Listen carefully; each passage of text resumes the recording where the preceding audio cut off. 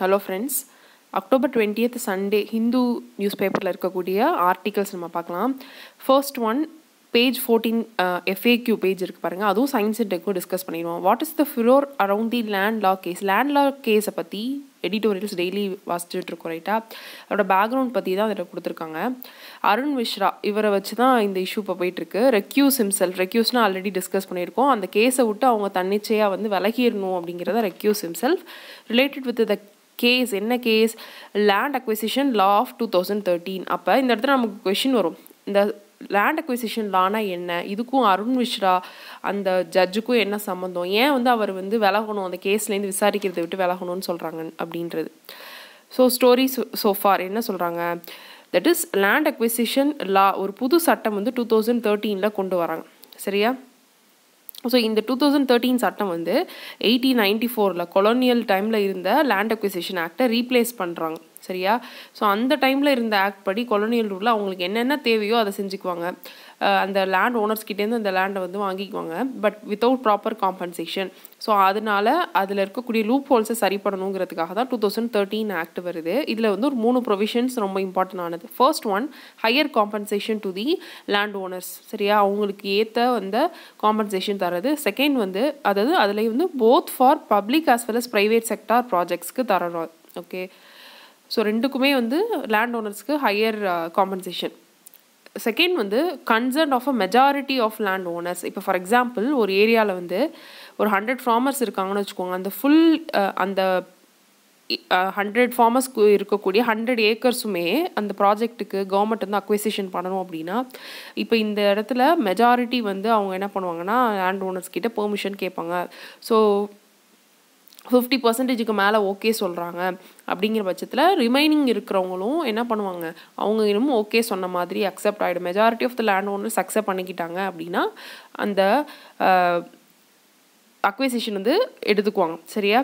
So and கண்டென்சி provisions third வந்து rehabilitation ரீசெட்டில்மெண்ட்டுக்கு ப்ராப்பரான ப்ரொவிஷன்ஸ் வந்து இருக்குது இதுக்கு முன்னாடி இருந்த சட்டங்களில் ப்ராப்பர் ப்ரொவிஷன்ஸ் வந்து கிடையாது. இப்போ நம்ம நிறைய படிப்போம்ல நர்மதா டேம் கட்டுறதுக்கு. இந்த மாதிரி நிறைய விஷயங்களுக்காக மேசிவான லேண்ட் அக்விசிஷன் பண்ணும்போது என்ன ஆகும்னா காம்பன்சேஷன் தரது கிடையாது ப்ராப்பராக சரியா?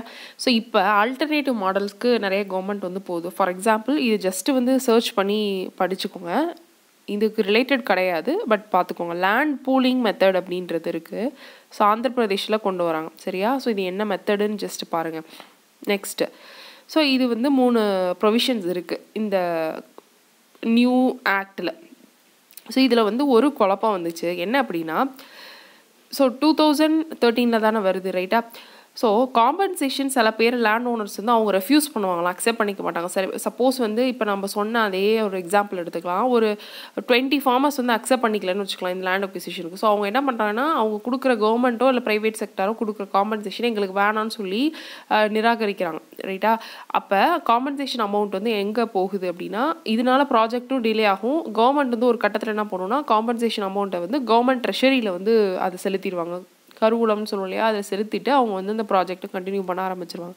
ஸோ இப்போ வந்து அந்த இடத்துல கேஸ் நடந்துகிட்ருக்கோம் இப்போ இந்த நாங்கள் வந்து காம்பன்சேஷன் அக்செப்ட் பண்ணலை அப்படின்றது கேஸ் நடந்துகிட்ருக்கோம் சரியா? இதனாலேயே நிறைய வந்து பெண்டிங் ஆஃப் ப்ராஜெக்ட்ஸ் இருக்குது அது ஒரு தனி இஷ்யூ பட் இங்கே என்ன சொல்ல வராங்கன்னா இப்போ புது சட்டத்தின்படி அவங்களுக்கு வந்து காம்பன்சேஷன் தரணுமா?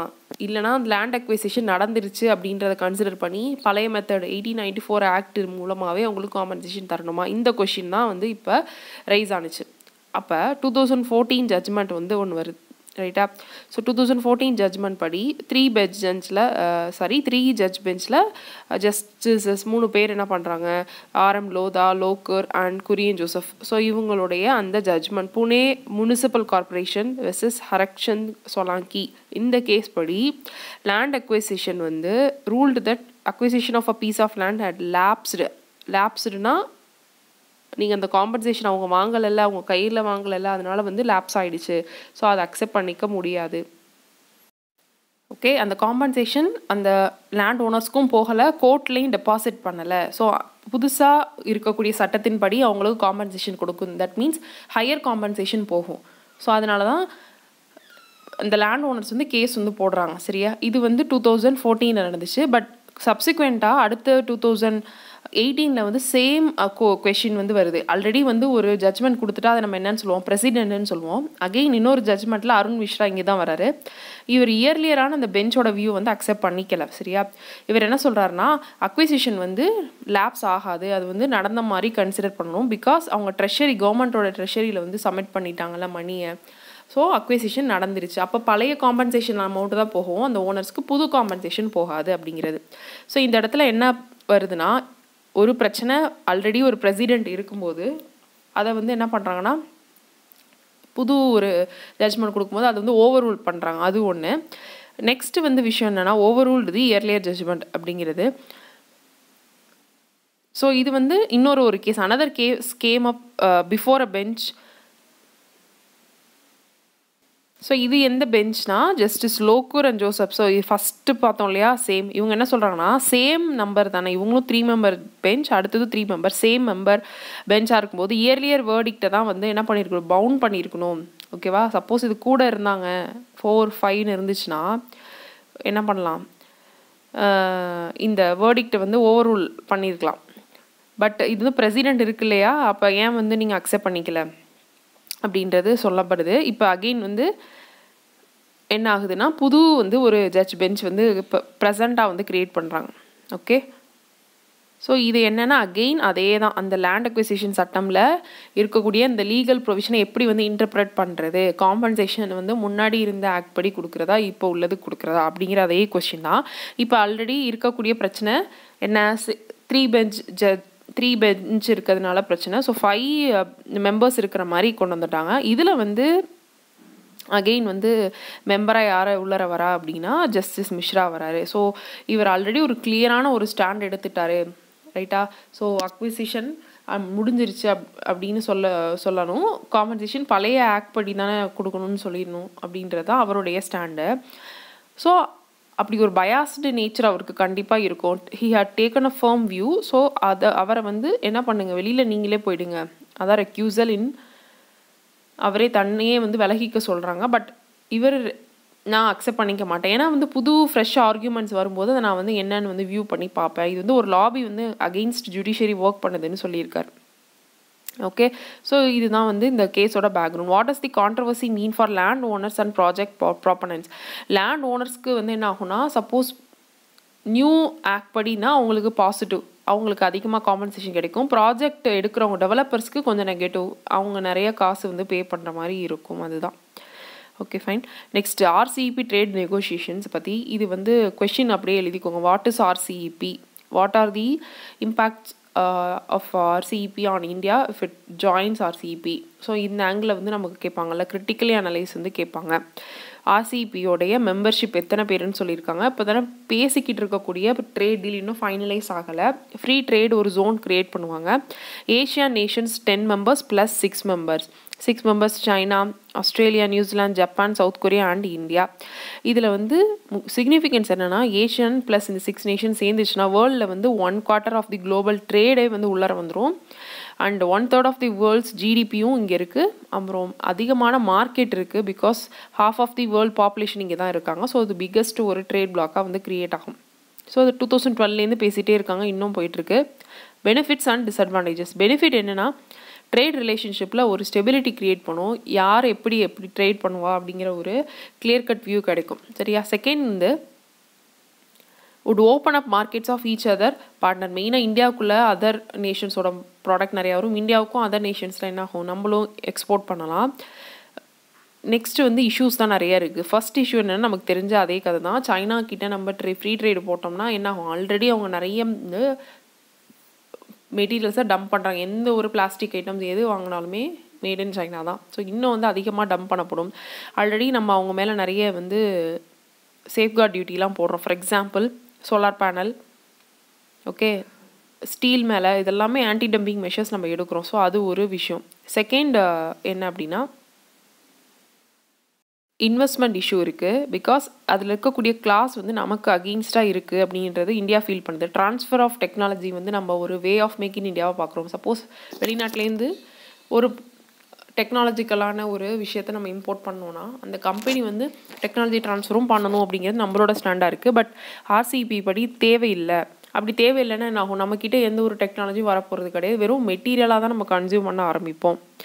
தேர்ட் வந்து இ காமர்ஸ் சாப்டர் இது நம்ம டிஸ்கஸ் பண்ணிட்டோம். Because of data localisation issue இருக்குது அதனால் நம்ம வந்து என்ன பண்ணுறோன்னா இதை வந்து இந்தியாலேயும் ஒரு காப்பி வேணும். Of all the data related to e காமர்ஸ்னு கேட்டுட்ருக்கோம் ஸோ இது மூணும் தான் வந்து இருக்கக்கூடிய இரிட்டன் ஃபேக்டர் பட் ஜென்ரலாக நம்ம என்ன பண்ணுறோன்னா அந்த சைனா கிட்டேருந்து ஒரு எயிட்டி பர்சன்டேஜ் ஆஃப் ஐட்டம்ஸ் வர நம்ம வந்து என்ன பண்ணோம்னா தேர்ஃப் இல்லாமல் கொண்டு வரும் அப்படின்னு சொல்கிறாங்க டியூட்டி இல்லாமல் பட் இது this is slow compare to other nations eighty six percentage for Australia நியூஸில் ninety percentage of products from ASEAN Japan இங்கெல்லாம் வந்து நம்ம ஃபுல்லாக வந்து டியூட்டியை குறைச்சிருவோம். சரியா? அது என்ன பண்ணணும் அப்படிங்கிறது தான் இம்பார்ட்டன்ட் பிகாஸ் நம்ம ஆர்சிஇபிலேருந்து விலகிடணுமா? இல்லை வந்து சேரணுமா? ஃபுல்லாகவே விலகுனாலும் நமக்கு கஷ்டம்தான். சரியா? பிகாஸ் நம்மளை மட்டும் வந்து எக்ஸப்ஷன் மாதிரி இந்த ஏரியாலேருந்து விலகிடுவோம். எல்லாருமே வந்து அங்கிட்டு ஃப்ரீ ட்ரேட் பண்ணிகிட்டு இருப்பாங்க. அப்போ ஃப்யூச்சரில் கண்டிப்பாக நம்ம என்ன பண்ணுவோம்னா போய் ஜாயின் பண்ணுவோம். அப்போ நம்மக்கிட்ட வந்து அவங்கக்கிட்ட பார்கெயின் பண்ணுறதுக்கு எந்த ஒரு டூலும் இருக்காது. பெஸ்ட் என்ன பண்ணலான்னா இப்போவே என்ன பண்ணலான்னா என்னென்ன தேவையோ பார்கெயின் பண்ணி அவங்கக்கிட்ட வந்து கிளியர் கட்டாக சொல்லிட்டு சேர்ந்துடணும் அப்படின்றதான் இந்த கன்க்ளூஷன் ஸோ இதை யூஸ் பண்ணிக்கணும். ரைட்டா next science and technology page இதில் வந்து நமக்கு தேவையானதை மட்டும் பார்ப்போம். IIT Jodhpur fabricates high sensitive device to detect lead so இங்கே என்னென்னா சென்சார் பற்றி தெரிஞ்சுக்கணும். சென்சார் அப்படிங்கிறது நியூஸில் இப்போ வந்து சயின்ஸ் அண்ட் டெக்னாலஜியில் இருக்குது இது எதனால் வந்து நமக்கு யூஸ்ஃபுல்லாக இருக்கும்? ஓகே ஸோ ஃபர்ஸ்ட் என்ன அப்படின்னா லெட்டு வந்து இருக்குல்ல ஸோ இது வந்து இந்த மெட்டல் என்ன? ஹெவி மெட்டல் இந்த ஹெவி மெட்டல் வந்து நம்மளுடைய கன்சியூம் பண்ணக்கூடிய இந்த வாட்டரோ இல்லை வந்து வேறு மெட்டீரியல்ஸ்லையோ இருந்துச்சு அப்படின்னா அது வந்து பாய்சனாக இருக்கும். ஃபார் எக்ஸாம்பிள் வந்து இந்த மேகியில் இருந்துச்சு. மோனோசோடியம் குளுக்கோமைட் அண்ட் லெட்டு வந்து பெர்மிசிபிள் லெவல்ஸை விட அதிகமாக இருந்தது அப்படின்னு சொல்லி டிடெக்ட் பண்ணாங்கல்ல? அதே போல் தான் அதை மாதிரி டிடெக்ட் பண்ணுறதுக்கு எந்த பொருளில் வந்து இருக்குன்னு டிடெக்ட் பண்ணுறதுக்காக ஒரு சென்சார் வந்து ரெடி பண்ணியிருக்காங்க. So world health organisation limit on lead வந்து ஃபைவ் பார்ட்ஸ் பெர் பில்லியன் இவங்க டிவைஸ் பண்ணியிருக்க ஐஐடி ஜோத்பூர் டிவைஸ் பண்ணியிருக்க இந்த சென்சார் என்ன பண்ணும் அப்படின்னா ரொம்ப வந்து சென்சிட்டிவாக that is point zero one eight parts per billion அளவுக்கு சென்சிட்டிவாக டிடெக்ட் பண்ணும். சென்சார் அப்படிங்கிறது ஜஸ்ட் ஒரு என்ன இருக்கும் ஒரு சிப் வித் ஒரு மெமரி மாதிரி தான் இருக்கும். ஸோ இது ஒரு எலக்ட்ரானிக் டிவைஸு அந்த வெரி ஸ்மால் ஸ்கேலில் இருக்கும். ஸோ தட் ஒரு பர்டிகுலர் விஷயம். இப்போ இந்த இடத்துல நான் லெட்டை மட்டும் என்ன பண்ணும் அப்படின்னா ரிடெக்ட் பண்ணும் இன்புட்டாக எடுத்துகிட்டு பார்க்கும். எஸ் அப்படின்னா அதுக்கு வந்து ஒரு அவுட்புட் வந்து கொடுக்கும். ஃபார் எக்ஸாம்பிள் வந்து சொல்கிறேன் ஒரு சிக்னல் வந்து அதுக்கு வந்து க்ரியேட் ஆகும். ஸோ அந்த சிக்னலை வந்து என்ன பண்ணுவாங்கன்னா ஸோ பார்த்து எஸ்ஆர் நோ நம்ம டிஜிட்டலில் பார்ப்போம்ல ஒன் ஆர் ஜீரோ அந்த மாதிரி எஸ்ஆர் நோ வச்சு அவங்க என்ன பண்ணுவாங்கன்னா கண்டுபிடிப்பாங்க.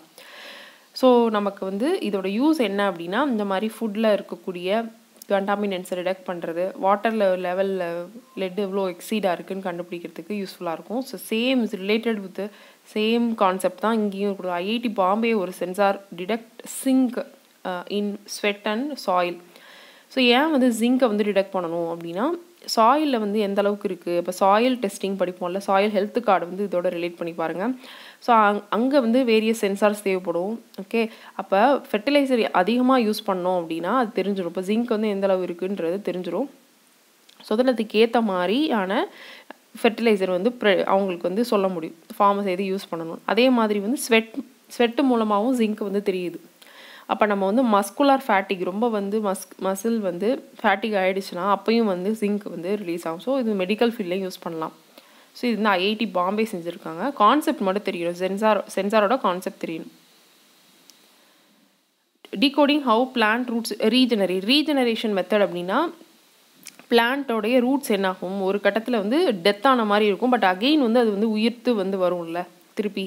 ஸோ அதுக்கான ரீசன் இப்போ இது வந்து நமக்கு எப்படி கொடுப்பாங்கன்னா ஆப்ஷனில் வந்து ரீஜெனரேஷன் அப்படின்னு சொல்லிட்டு இந்த concept it is seen in life science options கொடுத்துருவாங்க. பிளான்ஸ் லிசார்ட்ஸ்லையும் இருக்குது ஜீப்ரா ஃபிஷ்லையும் இருக்குது ஆப்ஷன்ஸில் கொடுத்தாங்கன்னா எஸ் பிகாஸ் லிசார்ட்ஸ் வந்து அதோட டெய்ல் வந்து இதாகிடுச்சுன்னா திருப்பி வளரும். ஜீப்ரா ஃபிஷ்ஷில் ஹார்ட் வந்து வூண்டானாலும் அகெயின் வந்து ரீஜெனரேட் ஆகுது.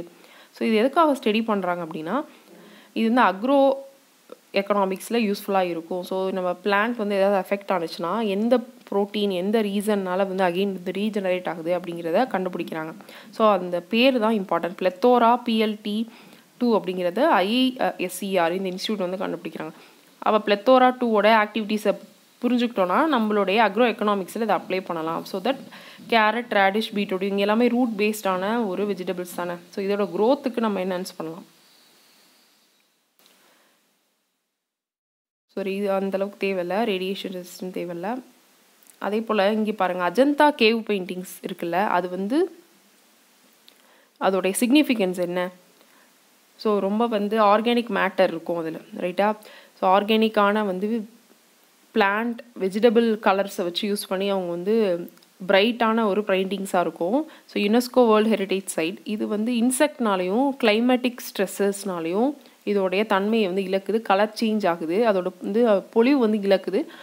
ஸோ லாஸ்ட் ஃபியூ டிகேட்ஸ் அது வந்து அதிகமாக இருக்குது இதை வந்து ப்ரொடெக்ட் பண்ணுறதுக்காக ஏஎஸ்சி வந்து சில ஸ்டெப்ஸ் எடுக்கிறாங்க. இன்செக்டிசைட்ஸ் ஹெர்பிசைட்ஸ்லாம் யூஸ் பண்ணுறாங்க okay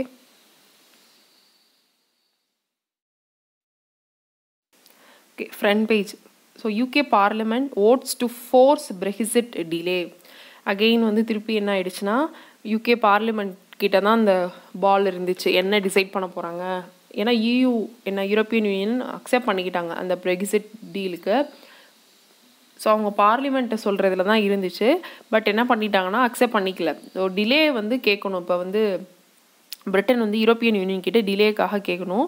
Voted on Saturday to postpone a vote on his பிரெஹிசிடில் அதாவது பிரைம் மினிஸ்டர் போரிஸ் ஜான்சனோட முடிவுக்கு வந்து டிலே கேட்கணும். இப்போ இவர் போய் என்ன சொல்கிறாருன்னா நான் வந்து யூரோப்பியன் யூனியன்ட்ட பேச மாட்டேன் டிலேலாம் கேட்க மாட்டேன். நான் என்ன சொல்லணும் அந்த ஸ்டாண்டில் இருக்கேன் அப்படின்றத அவர் சொல்கிறாரு இது எப்படி இவங்களுடைய இந்த இஷ்யூவை சால்வ் பண்ண போகிறாங்கன்னு தெரியல. வெயிட் பண்ணி பார்க்கணும். ஓகே பிகாஸ் அவங்க பார்லிமெண்ட் சொன்னதுக்கு பிறகு அகெயின் வந்து இது எப்படி எடுத்துகிட்டு போகிறாங்கன்றது ஒரு கன்ஃபியூஷனில் தான் இருக்காங்க.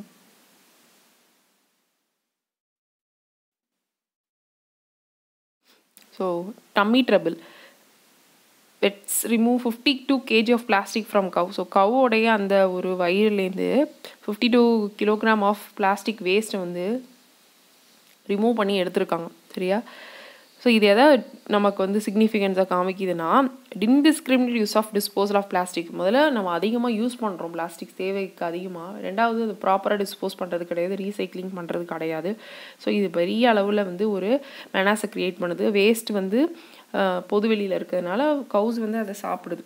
அதனால் அதோ அதோட ஈல்டு கம்மியாகுது. அதோட ஹெல்த்து கம்மியாகுது. இன்டர்ன் நம்மளுக்கும் அந்த வந்து என்வாயன்மெண்ட்லேயும் அது வந்து எஃபெக்ட் ஆகும்.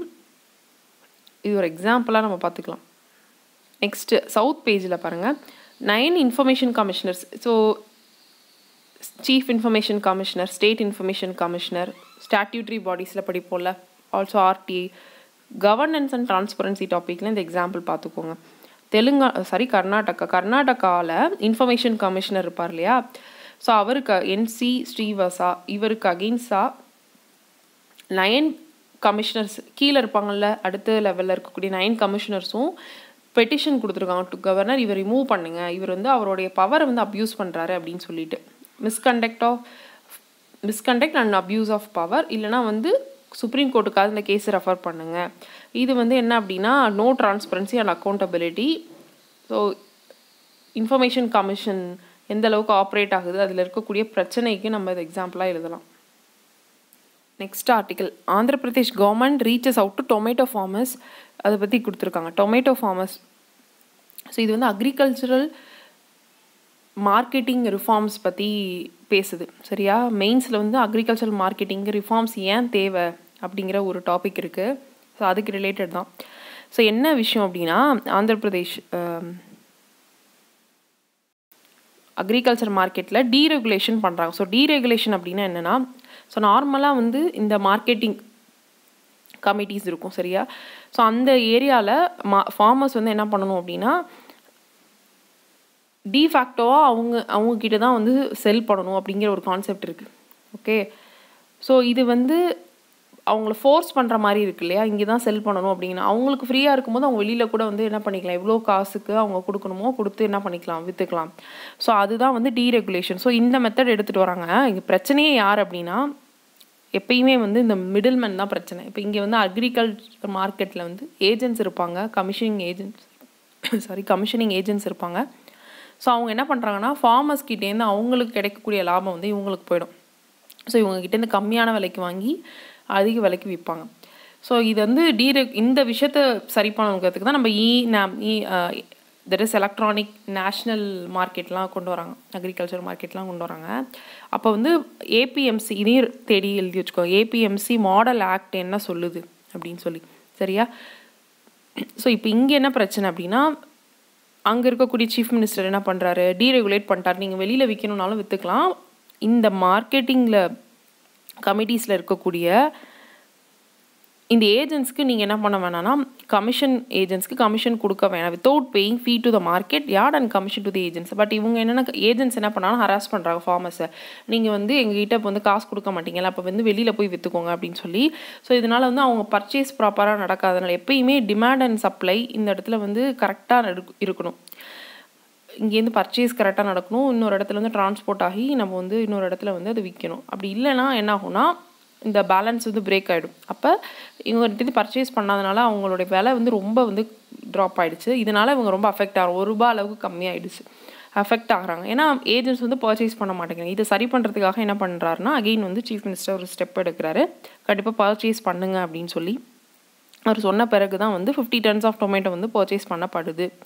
ஸோ ஹராஸ் பண்ணதுனால அந்த இது ஏஜென்ட்ஸ்க்கு மேலே வந்து எஃப்ஐஆர்ஸ் வந்து ஃபைல் பண்ணப்படுது. ஸோ இங்கே என்ன அல்டிமேட்டாக நமக்கு தெரிய வருதுன்னா ஃபார்மர்ஸ் தான் வந்து எஃபெக்ட் ஆகிறாங்க. அவங்க ப்ரொடியூஸ் பண்ணுற அந்த ப்ரொடியூஸ்க்கு ஏற்ற வேலை வந்து அவங்களுக்கு கிடைக்கிறது ரொம்ப கஷ்டமாக இருக்குது நம்ம வந்து ஏபிஎம்சி ரிஃபார்ம்ஸ் பற்றி படிச்சுக்கணும். அதுதான் விஷயம். நெக்ஸ்ட் நேஷன் பேஜில் centre clarifies on the definition of forest ஃபாரஸ்ட்னா என்னன்ற டெஃபினிஷன் நம்ம நாட்டில் கிளியராக இல்லை. ஓகேவா ஸோ இதனால வந்து என்ன பிரச்சனை வருது? ஒவ்வொரு இடத்துலையும் வந்து ஃபார் எக்ஸாம்பிள் ஆர்ஏ ஃபாரஸ்ட் இருந்துச்சு. அது வந்து டெல்லியில் வந்து இப்போ அந்த நிறைய ட்ரீஸ் வந்து அழிச்சாங்க. அது வந்து ஃபாரஸ்ட்டுங்கிற கணக்கில் வந்து வரமாட்டேங்குது. ஸோ அதனால் வந்து அந்த ரூல் படி அந்த சட்டத்தின் படி அதை ப்ரொடெக்ட் பண்ண முடியல. ஸோ இங்கே என்ன ஆகுதுன்னா மினிஸ்ட்ரி என்ன சொல்கிறாங்கன்னா ஒவ்வொரு ஸ்டேட்டும் நீங்கள் வந்து என்ன பண்ணிக்கோங்கன்னா நீங்கள் ஃபாரஸ்ட்டுங்கிறத நீங்கள் உங்களுக்கு ஏற்ற மாதிரி அதில் இன்க்ளூட் பண்ணிக்கோங்க. எதெல்லாம் இன்க்ளூட் பண்ணணும்னு நினைக்கிறீங்களோ அர்பனில் ஒரு சில இடத்துல ட்ரீஸ் இருந்தாலும் அதையும் ஃபாரஸ்ட்டுக்குள்ளே கொண்டு வாங்க அப்படிங்கிற மாதிரி சொல்கிறாங்க நார்மலாக என்ன விஷயம்? கோதாவரம் ஜட்ஜ்மெண்ட் இந்த ஜட்ஜ்மெண்ட் தான் ஒரு பிரசிடெண்ட்டாக இருக்குது ஒரு சுப்ரீம் கோர்ட் ஆர்டர் இதெல்லாம் ஃபாரஸ்ட் அப்படின்னு கன்சிடர் பண்ணுறதுல ஸோ சென்டர் வந்து இப்போதைக்கு நீங்கள் வந்து கிளாஸிஃபை பண்ணிக்கோங்க. ஃபாரஸ்ட் வந்து என்ன அப்படின்றத கிளாஸிஃபை பண்ணிக்கோங்க. For the larger good of the environment as well as for the country அதுதான். ஸோ இவங்க நைன்டீன் நைன்டி சிக்ஸ் இப்போ நம்ம பார்த்த அந்த ஜட்ஜ்மெண்ட் என்ன சொல்கிறாங்கன்னா definition of ஃபாரஸ்ட்குள்ளே including the lands that were already notified expand பண்ணுறாங்க ஸோ கவர்மெண்ட் நோட்டிஃபை பண்ணதை விட சுப்ரீம் கோர்ட் வந்து எக்ஸ்பேண்ட் பண்ணுறாங்க ஸோ இது வந்து நம்ம இப்பயும் எடுத்துக்கலாம். இந்த ஒரு ஜட்ஜ்மெண்ட் அதுதான். ஸோ ஸ்டேட்டே வந்து எவால்வ் பண்ணிக்கலாம் அப்படின்னு சொல்லும்போது எல்லா ஸ்டேட்ஸுமே முன்வர கிடையாது. எவால்வ் பண்ணிக்கிறதுக்கு. Forest define under the criteria deemed forest அப்படின்னு சொல்லி ஒரு க்ரைட்டீரியா வந்து எடுத்துகிட்டு வராங்க. Okay so deemed forest so deemed ஃபாரஸ்ட்னா என்னென்னா ஸ்டேட்ஸ் வந்து சென்ட்ரல் கவர்மெண்ட்டை விட அவங்களா ஒரு டெஃபினேஷன் போட்டு ஒரு சில ஏரியாஸையும் ஃபாரஸ்ட்குள்ளே கொண்டு வராங்களா? அதுதான் வந்து டீம்டு ஃபாரஸ்ட் அப்படிங்கிறது. எப்படி நம்ம டீம்டு யூனிவர்சிட்டிஸ்னு சொல்லுவோம்ல அது மாதிரி. பட் என்ன இஷ்யூ ஏன் இது மாதிரி ஒவ்வொரு ஸ்டேட்டும் எவால்வ் ஆகிக்கணும் அப்படிங்கிறது தான்.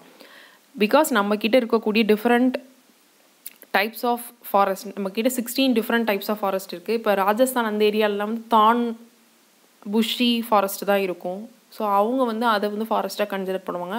வேற நம்ம ஏரியாவில் வந்து வேறு மாதிரி கன்சிடர் பண்ணுவோம். ஸோ ஒவ்வொரு ஏரியாலையும் மலையில் ஒரு மாதிரி இருக்கும் பிளெயின்ஸில் ஒரு மாதிரி இருக்கும். ஸோ அதுதான் வந்து need for varied definition of forest அப்படின்றது. Next news page so Shopian apples mainly reach shelves இது வந்து ஜம்மு காஷ்மீர்லேருந்து அந்த ஆப்பிள்ஸ் வந்து ப்ரொடியூஸ் பண்ணுறாங்கள அங்கே இருக்கக்கூடிய ஃபார்மர்ஸ் இருப்பாங்க.